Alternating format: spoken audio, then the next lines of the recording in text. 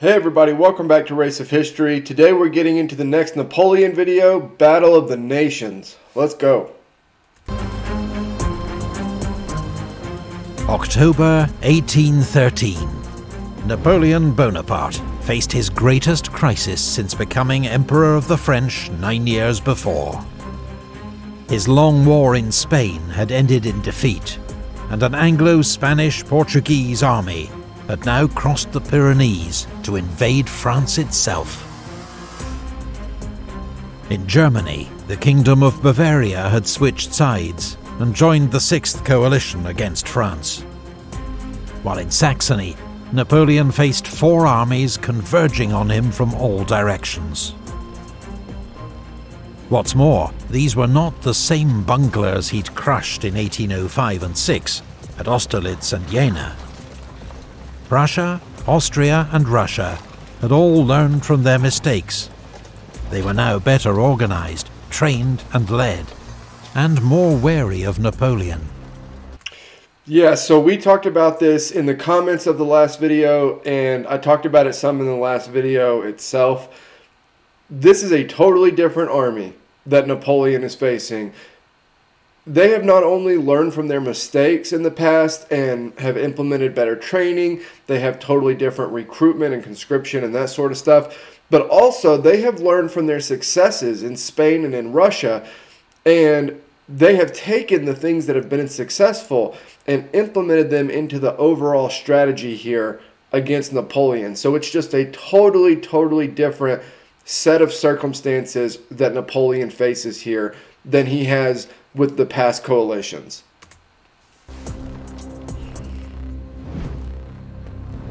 The largest coalition force was the Army of Bohemia, commanded by Austrian Field Marshal the Prince of Schwarzenberg. His was a huge mixed Austrian-Russian-Prussian army of 194,000 men and 790 guns. Damn, 790 guns. Wow. To the north, Blücher's army of Silesia, and the Army of the North under Napoleon's ex-marshal Bernadotte, now Crown Prince of Sweden. Together, 130,000 men and 536 guns. To the southeast, General Bennigsen's Army of Poland, besieging Dresden. Another 34,000 men and 135 guns. In total, the coalition had fielded 360,000 men and 1,500 guns, with Russia supplying the bulk of the troops. One unique addition to Bernadotte's Army of the North was a single troop of British rocket artillery, an experimental weapon system based on the Congreve rocket, a type seen here in 1830. Although wildly inaccurate, their high explosive warhead could be devastating at close range. Wow, so they implemented basically like what would be modern shells. That's that's wild. Napoleon's forces around Leipzig were outnumbered almost two to one.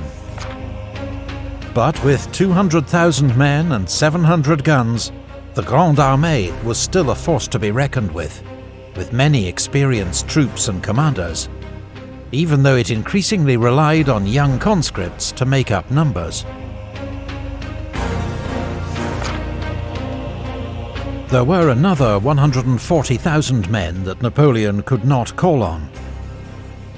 General Rapp's 10th Corps besieged in Danzig, Marshal Saint-Cyr's 1st Corps besieged in Dresden, Marshal Davout's 13th Corps holding Hamburg, as well as several smaller besieged garrisons across Germany and Poland. Napoleon was currently about 20 miles north of Leipzig with the bulk of his army. Marshal Murat was 40 miles to the south with 90,000 men, covering Schwarzenberg. Napoleon now decided to rapidly join Murat, and with their temporary superiority in numbers, defeat Schwarzenberg, before Bernadotte and Blücher could intervene. Murat had orders to conduct a fighting withdrawal northwards. but at Liebert-Wolkwitz he was drawn into major combat with the enemy's advance guard. Around 12,000 horsemen fought what some have described as the largest cavalry battle in Europe's history. Murat, in the thick of it as usual, was very nearly captured by Prussian dragoons. The battle ended in a minor coalition victory, with around 2,000 casualties on each side. The next day, Napoleon arrived to take command. This video is sponsored by The Great Courses Plus, home of more than 11,000 on-demand video lectures, covering everything plus.com slash epichistorytv, or click on the link in the video description. Thank you to The Great Courses Plus yeah, go support Epic History. The, these videos really are great.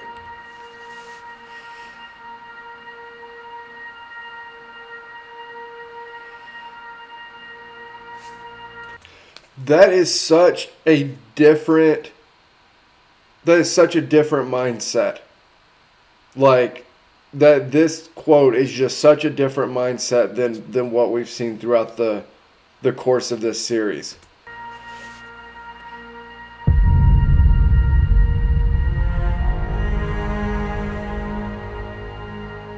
By the 16th of October, Napoleon had concentrated most of his forces south of Leipzig. Field Marshal Schwarzenberg, meanwhile, against Russian advice, had deployed his army on either side of the Pleiße River, which would hinder his movements throughout the battle. Napoleon had entrusted the northern sector to Marshal Ney, with orders to keep an eye out for Blücher and Bernadotte. But Napoleon didn't expect them for at least another day, and so Ney had orders to transfer most of his troops south for the attack on Schwarzenberg.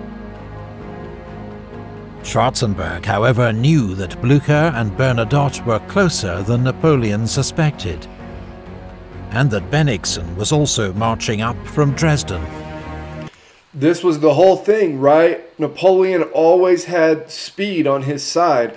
He surprised enemies over and over and over that led to, you know, the the total collapse of the enemy at a lot of these battles or a lot of these former battles.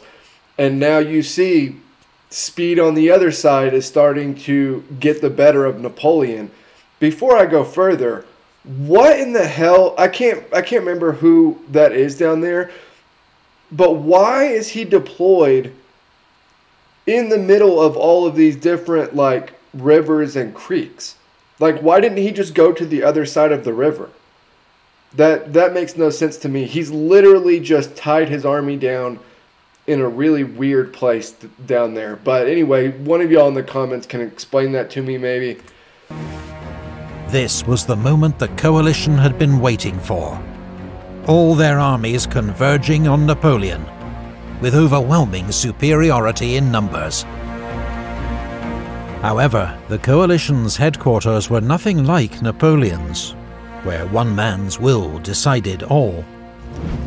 Schwarzenberg had to attempt to coordinate the actions of three large armies from three separate states. And although he was commander-in-chief, his plans still needed to be approved by Emperor Alexander, the supreme commander, whilst he also managed relations with the King of Prussia and the Emperor of Austria, all so you have a similar thing playing out here as you did with the Soviet Union, where because you have a political advisor always there and everything has to be run through like the political headquarters, it slows everything down. It makes everything seem like this huge task to get done. That's kind of what is happening here with yeah, you have some somebody in charge, but even they aren't really in charge, and they have to placate to other people, and they have somebody that they are, you know, they have a direct superior even, and so this this is interesting here. All of whom were present at his headquarters. The plan finally agreed was for General Wittgenstein's corps group to lead an attack in four main columns, with two Austrian flanking attacks west of the Pleiße. At 8am, a bombardment began along the line, as Russian, Austrian, and Prussian infantry regiments advanced across cold, muddy fields. Wachau soon fell to Russian infantry, but French artillery fire made it impossible for them to advance further. Victor's Second Corps then counterattacked, retaking the village at bayonet point. Wachau would change hands twice more that morning. These bloody contests for small Saxon villages would come to typify the fighting around Leipzig. At Markkleeberg, Kleist's Prussian Second Corps drove out the Polish defenders after bitter fighting, while on the left bank of the Pleiße, Merveldt's Austrian Second Corps struggled across broken ground to attack well-defended villages. Their assault on Connewitz stalled, but with heavy losses the Austrians got a toehold in Dölitz. On the right flank, around 10 am, Klenau's 4th Corps occupied the high ground of the Kolmberg and fought its way into Liebert-Wolkwitz. Napoleon, observing from Gallows Hill, ordered up Augereau's 9th Corps and the Young Guard in support. MacDonald's 11th Corps was now also arriving in position on his left. His troops retook the Kolmberg and counterattacked Liebert-Wolkwitz, driving out the Austrians and pursuing them over the fields beyond. The advance was only halted when Russian Cossacks were sighted on their open left flank, a warning that Bennigsen's army was not far off. I've said it a million times in this series, but the Cossacks are so awesome. The coalition offensive was going nowhere, with most of its modest gains lost to French counterattacks. But there was one sector where the coalition had more success that morning. General Gyulay's Austrian Third Corps, with orders to threaten Napoleon's line of retreat, advanced over marshy ground towards Lindenau. Ney had to divert Bertrand's Fourth Corps to reinforce the village and ensure the road to France was kept open. Napoleon was waiting for Ney's reinforcements before launching his attack on Schwarzenberg, but now Fourth Corps was tied down at Lindenau and there was more bad news from Ney. Blücher's army of Silesia was approaching from the northwest. Marmont's 6th Corps had had to turn about to keep the Prussians at bay.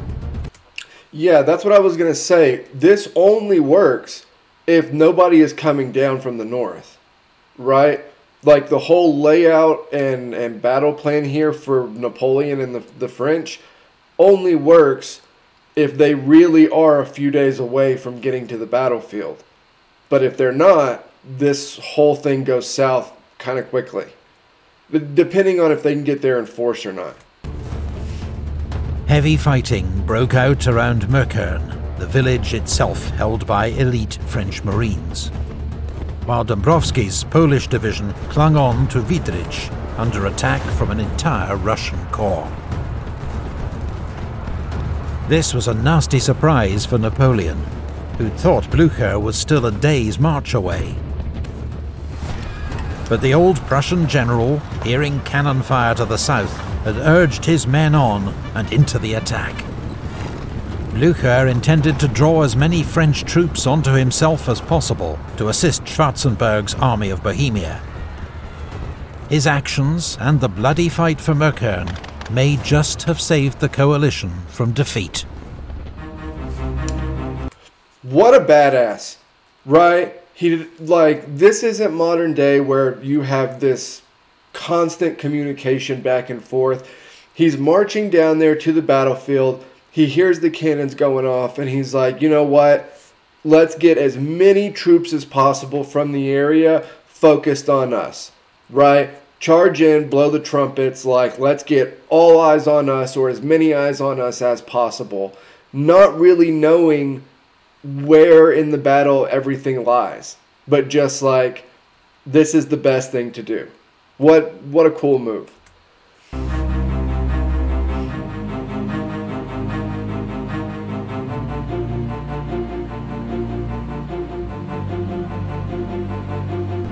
Napoleon was outnumbered across the whole battlefield. But in the south he still had a numerical advantage, not as large as he'd hoped, nor likely to last long. Schwarzenberg and Alexander were already moving up reserves, though Schwarzenberg now found that his were on the wrong side of the Pleiße River. That's what I was saying. What is he doing over there? Like, what is he doing over there? Costing precious hours. It was now or never for Napoleon. At 2 pm, he ordered the attack to begin. A grand battery of 180 guns blasted the enemy lines. Then Victor's 2nd Corps, Lauriston's 5th Corps, and the Young Guard began their advance. In support, Murat gathered two entire cavalry corps, 10,000 horsemen, and led them in one of the great mass cavalry charges of the Napoleonic Wars. How many awesome cavalry charges has Murat been a part of since this whole thing started? I feel like there's been quite a few. Cuirassiers of the 1st Heavy Cavalry Division broke through to the main enemy battery some even nearly reached the three coalition monarchs. Wow. But the ground was marshy and broken by fences and ditches. The French horses were soon exhausted and the squadrons disordered.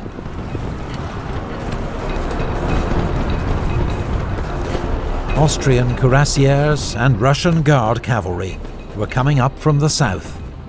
When these fresh Allied cavalry reserves charged the French, a great melee ensued, but the French were eventually driven back to their start line.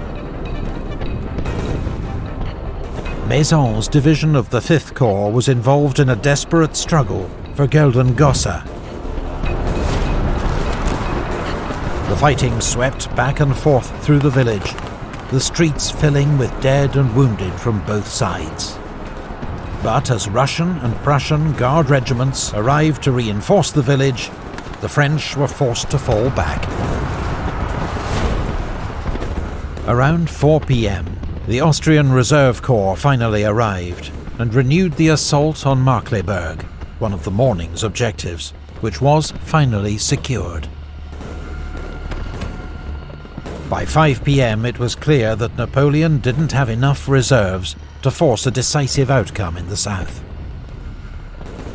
To the north, Möckern was being stubbornly held by French Marines with lethal close-range artillery support.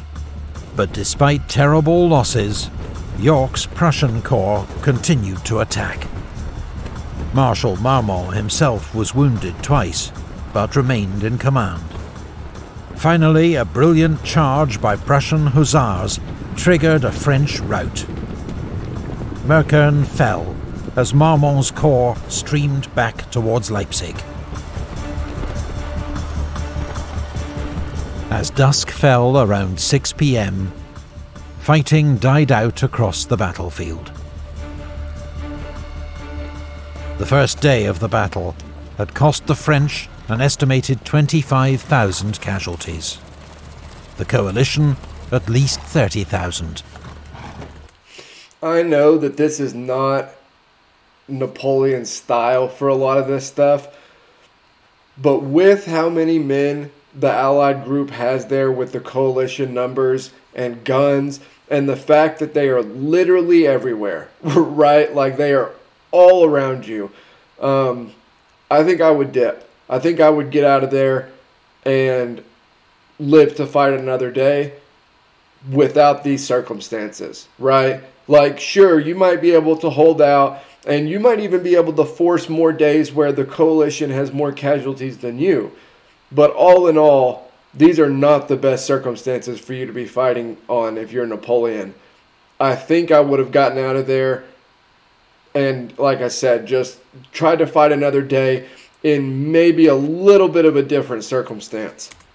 Napoleon had come close, but failed to land a decisive blow. The chance for victory was slipping from his grasp.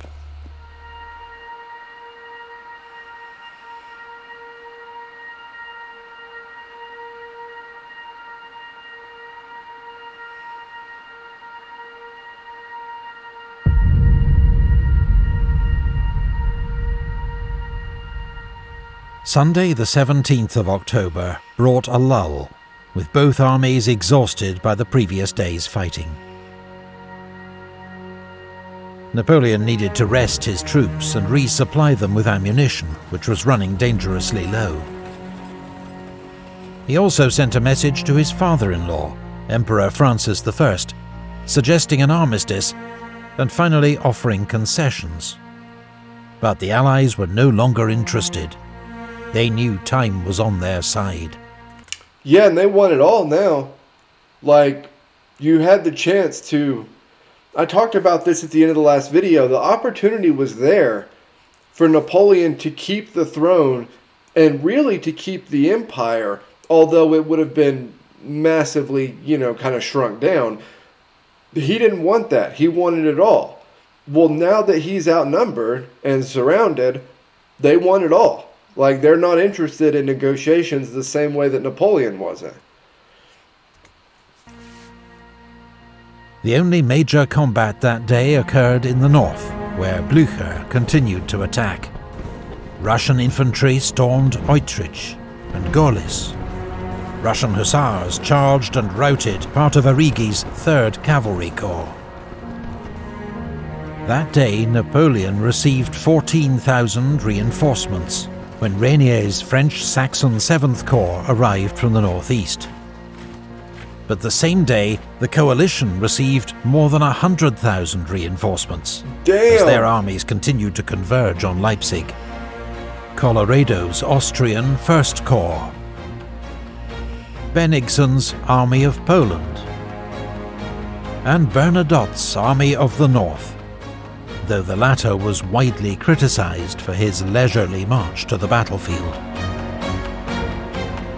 The next day, Napoleon would face odds of nearly two to one.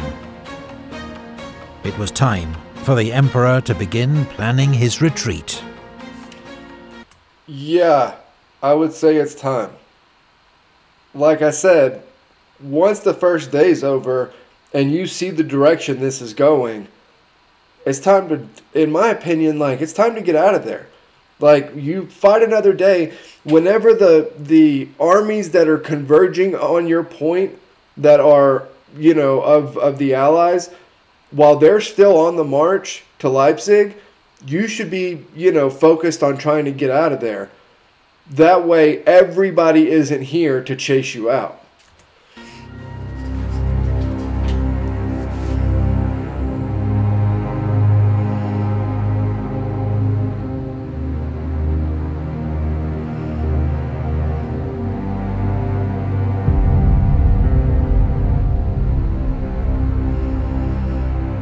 On Monday morning, the sun shone across 40 square miles of battlefield, on which nearly half a million troops and 2,000 cannon were assembled.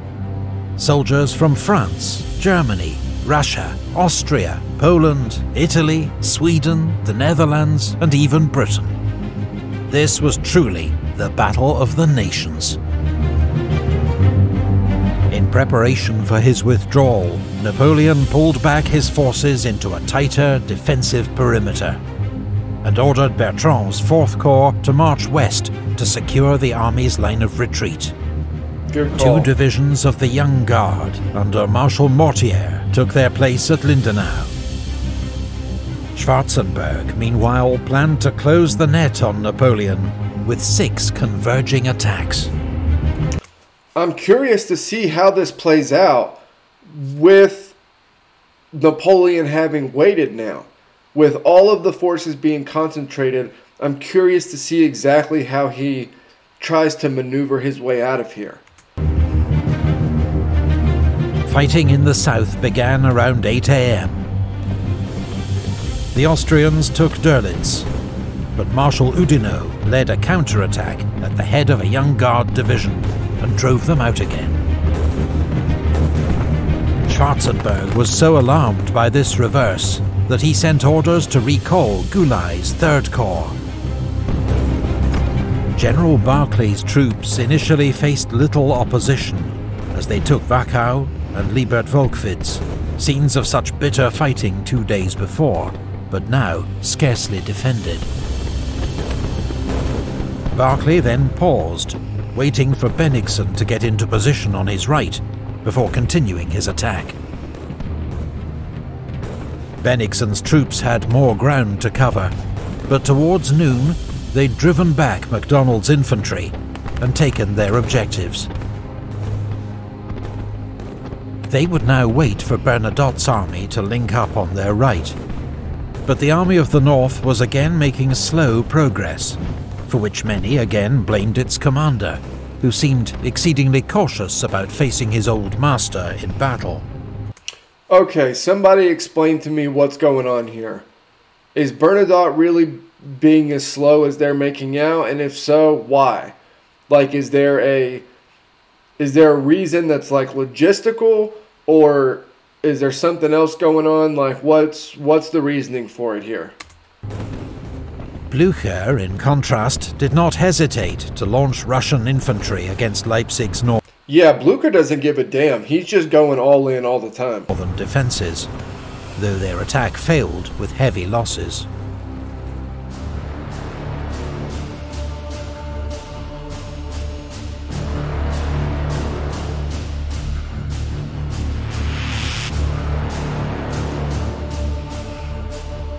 By 2 pm, Napoleon was hard pressed on all fronts, but holding his own. His attention was now focused on Probstheide, key to his southern front, under attack from Kleist's Prussian Second Corps. French troops had turned the village into a fortress and inflicted terrible losses on the advancing Prussians. Probstheide was soon engulfed in smoke and fire as fighting raged on all sides. Some Prussian regiments lost half their men attacking the village, while three French generals were killed as they organised its defence. Napoleon even sent in Friant's division of the Guard to reinforce the position.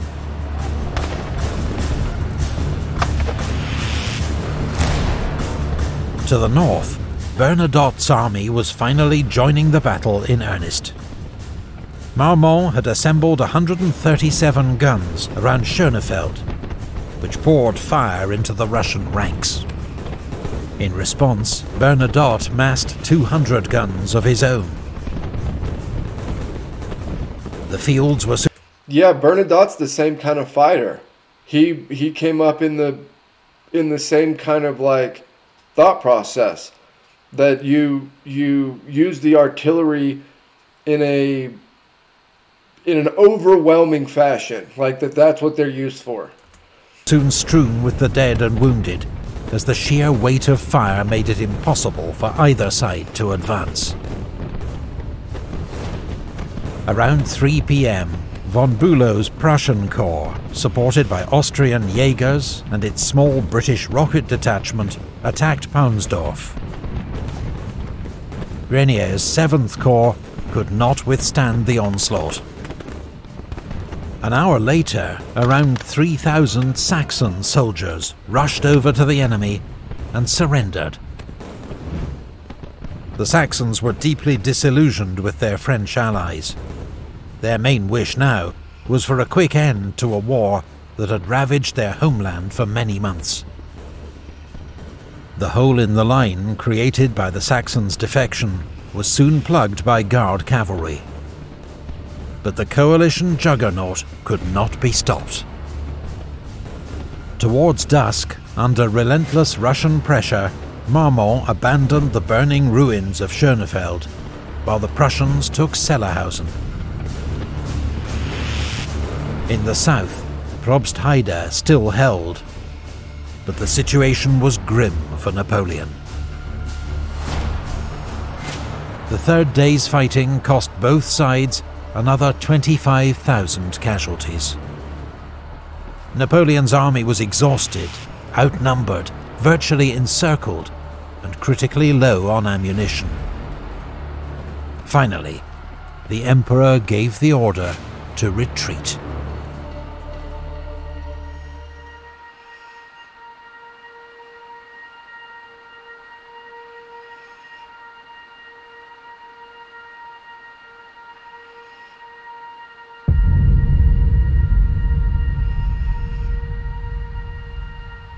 Overnight, under cover of darkness and early morning fog, the French army withdrew behind Leipzig's walls, and at 4 am began its retreat west, crossing the single bridge over the Elster River that led back to France. There'd been time and materials to build extra bridges, but in what would prove a serious oversight, no one had given the necessary orders. You are freaking kidding me. They had.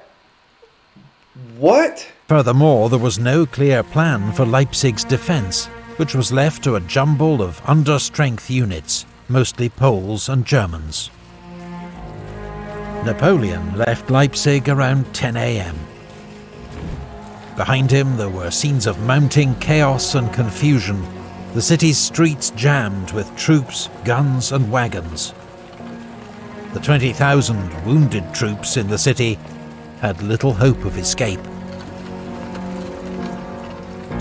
Thirty minutes later, shells began to rain on the city as the coalition launched an all-out assault from north, east and south. The rearguard held the city's gates for as long as they could, but they were soon overwhelmed by the enemy, savage street fighting broke out across the city.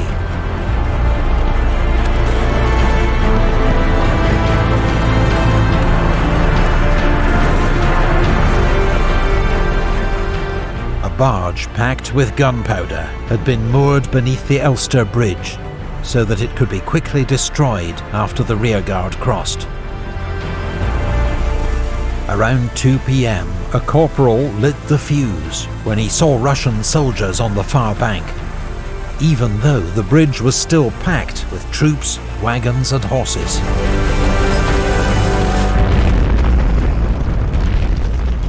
The bridge was destroyed in a gigantic explosion that trapped 30,000 men and 30 generals on the wrong side of the river. Panic broke out among those who suddenly found themselves cut off. Most became prisoners, but some tried to swim for it, including the Polish Prince Poniatowski, made a marshal by Napoleon just three days before. Weak from his wounds, he rode his horse into the river, but as it tried to climb the steep far bank, it rolled over him, and he was drowned. Marshal MacDonald had also been cut off by the blast, and resolved to escape or die trying. So the generals and marshals are they're kind of in a, a position where I can understand why they're trying to make a run for it, right? But if you're a normal troop here, if you're a regular rank and file troop, what's your move? Like, what do you do? The the bridge is blown. You may be wounded, um, or you're certainly exhausted from fighting. But now you have no way out. There's an enemy army that's literally coming in, sweeping into the city what what's your move? What do you do? I'm I'm trying to think of what my instinctual action would be. Maybe it would be to swim for it. Maybe it would be just to rip off all my stuff, go into a house and like act like I'm a civilian, maybe a wounded civilian or something. I don't know. I don't know. I'm trying to think of like what what can they do now that they're blocked. What a wild event that they blew the bridge with so many people still on the other side. Man. He found a place where engineers had cut down two trees as a makeshift bridge, and made his attempt. And there I was, one foot on either trunk and the abyss below me. A high wind was blowing. I was wearing a large cloak, and fearing that someone would grab at it, I got rid of it. I was already three quarters of the way across when some men decided to follow me. Their unsteady feet caused the trunks to shake, and I fell into the water. Fortunately, I could touch the bottom, but the bank was steep, the soil loose and slippery. Some of the enemy's skirmishers came up. They fired at me point blank and missed me, and some of our men who happened to be nearby drove them off and helped me out. I was wet from head to foot, breathless and sweating heavily from my efforts. Marshal Marmont, who had got across early in the day, gave me a horse. I wanted dry clothes more, but they were not to be had. What a crazy story that is. And to think just a few more bridges could have made a huge difference here. A huge difference. I mean, think about it. There are people that are escaping, like that guy just did, on tree trunks. So, like, more bridges just totally changes everything about this. And instead, instead, it turns into this just total chaos. The loss of the bridge turned what was already a heavy defeat for Napoleon into a disastrous one. Later that day, the three Allied monarchs met in the centre of Leipzig to celebrate their great victory. It had come at enormous cost. Exact numbers are impossible to establish, but in four days' fighting, the coalition armies suffered at least 52,000 casualties. Napoleon, who could less afford such losses, came off worse. 47,000 killed and wounded, 35,000 taken prisoner, 325 guns lost. More men were killed and wounded at Leipzig than in any European battle before the First World War. Sir George Jackson, the British ambassador to Austria, rode over the battlefield with Metternich, the Austrian foreign minister, two days later. A more revolting and sickening spectacle I never beheld, he wrote. Scarcely could we move forward a step without passing over the dead body of some poor fellow, gashed with wounds and clotted with blood, another perhaps without an arm or a leg, here and there a headless trunk, or a head only which caused our horses to stumble or start aside. It made one's blood run cold to glance upon the upturned faces of the dead. We got over this field of glory as quickly as we could.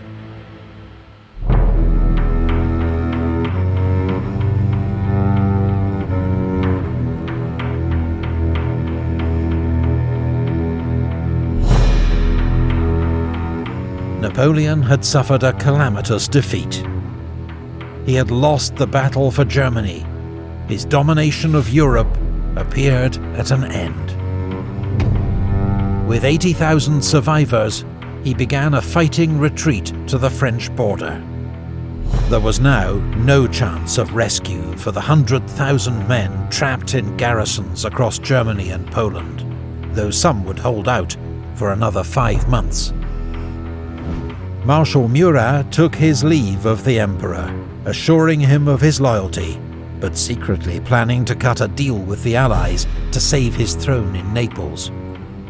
It was the last time the two men saw each other. Eleven days after the Battle of Leipzig, Napoleon's former allies, the Bavarians, tried to block his escape at Hanau with 40,000 wow. men. The Bavarian commander, von Wrede, had served with Napoleon in many campaigns. But on seeing his deployment for battle, Napoleon remarked, I made him a count, but I couldn't make him a general. The That's messed up. French Emperor then ordered the Imperial Guard to lead an attack that forced the enemy to fall back in disarray.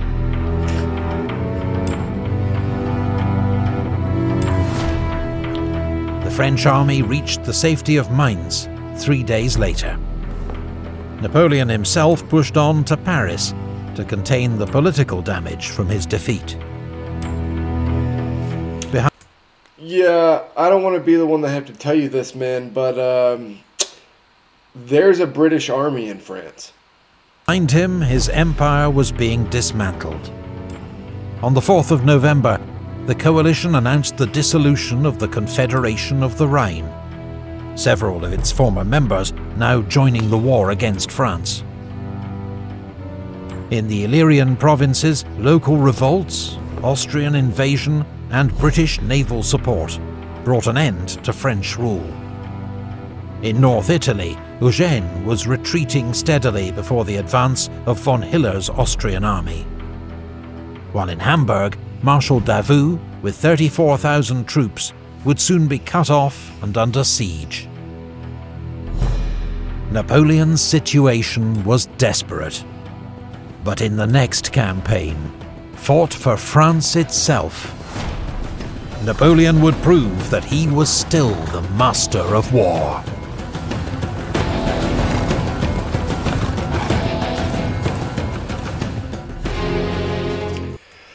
Okay, so that was Napoleon Battle of the Nations. That was a great video.